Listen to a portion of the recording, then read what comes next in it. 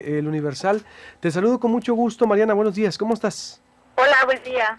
Eh, ayer importante reunión en San Lázaro eh, sobre lo que viene siendo la comparecencia de funcionarios frente a la crisis del río Sonora. ¿Qué fue lo que se rescata? Es decir, porque no veo, pensé que iba a dar a la mejor nota de portada, pero bueno, entre la vorágine informativa, entre tanta información, creo que ya se desvanece lo del río Sonora. ¿Qué valorarías que fue lo más importante de la reunión? Bueno, ayer los diputados, toda la comparecencia realmente eh, fue en torno al río Sonora. Hubo un, los cuestionamientos muy fuertes. Estuvo el procurador federal eh, de protección al ambiente, Aro estuvo el secretario Juan José Guerrabur y todos los diputados le preguntaban acerca del río Sonora y ellos, bueno, lo que se rescata de esa reunión es que eh, confirman los funcionarios que no van a aplicar la ley de responsabilidad ambiental como se había planteado, que iba a ser un proceso, la primera vez que se iba a aplicar en México, un proceso para que la empresa pagara los daños de remediación y parece que llegaron al acuerdo del fideicomiso y se quedará en eso con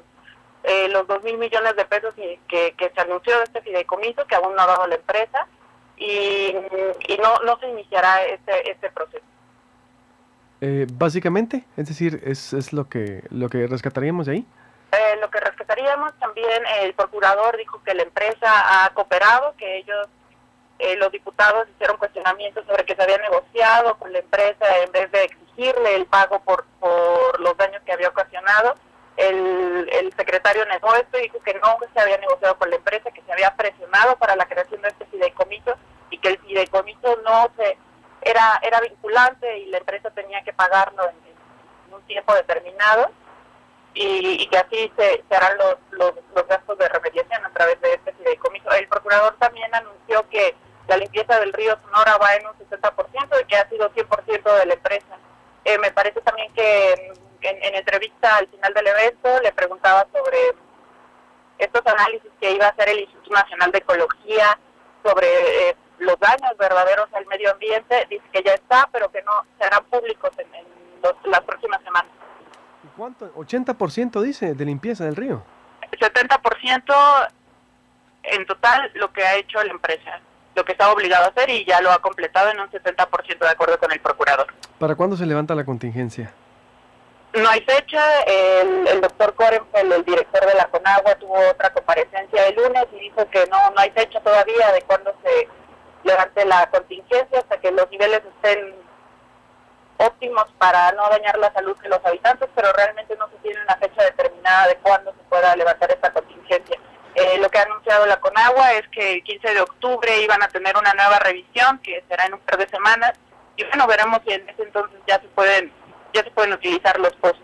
¿Cómo valoras la reunión entonces? Veo que no hubo o, fue tensa reunión, el diálogo fluyó, eh, fueron convincentes las respuestas de los funcionarios a los diputados.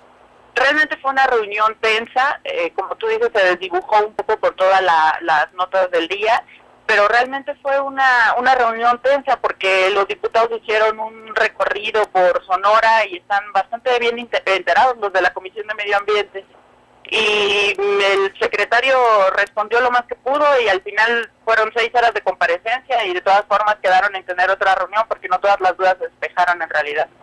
Muy bien, ¿qué, quedó pendiente, Mariana? Em, les quedaron pendientes exactamente cómo puede afectar el sulfato de cobre a la salud de las personas y cómo se harán estos pagos y cómo funcionará este fideicomiso que fue la gran duda que el secretario no pudo resolver cómo se entregarán eh, los recursos y cómo se decidirá qué persona recibe o, el dinero, que es lo que jamás quedó claro. Y es lo que tampoco ha quedado claro aquí en Sonora, en lo, con los alcaldes que hemos estado entrevistando. Gracias, Mariana, buen reporte, te agradezco mucho. Gracias, buen día. Buenos días, Mariana López del Universal a nivel nacional estuvo ayer ahí en San Lázaro. Aquí hemos debatido con los alcaldes, con ciudadanos. No está claro el pago por hectárea pero también dice, por ejemplo, Zagarpa que no hay denuncia, pero también han dicho aquí que los criterios no son transparentes, se les paga a los mismos, no me crea a mí, créale a los alcaldes, a los ciudadanos, por ejemplo, aquí me está participando en Twitter la académica, en este caso Francisca García, desde Aconchi, como que el 80%...